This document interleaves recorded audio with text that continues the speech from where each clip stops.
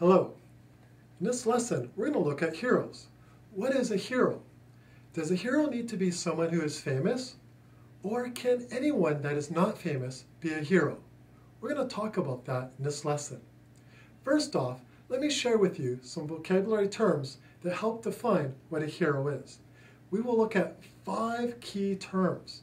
Now, a hero only needs to have at least one of these characteristics.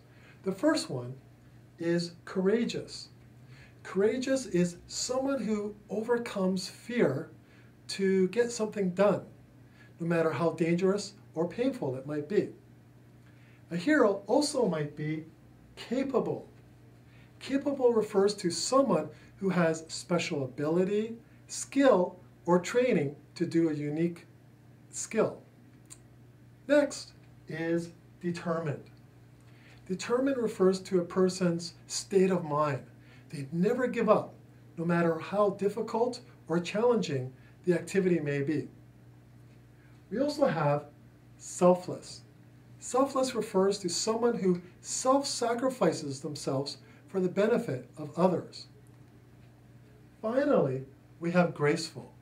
Graceful refers to a person's charm or positive manner and is, it is especially exhibited when they are having a great deal of stress.